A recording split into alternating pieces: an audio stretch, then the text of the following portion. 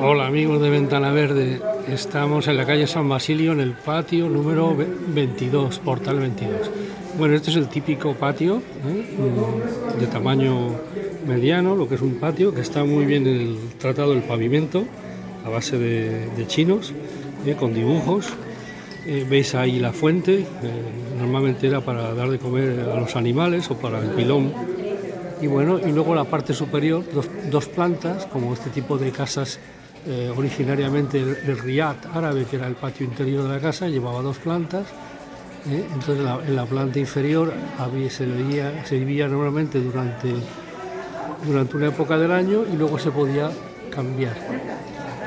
Bueno, veis un poco mucha gitanilla, en fin, lo típico de este tipo de, de platos familiares.